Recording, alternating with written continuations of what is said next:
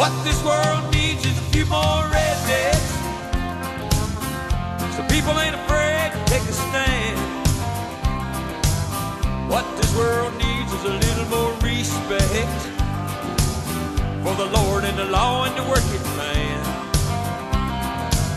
And we could use a little peace and satisfaction.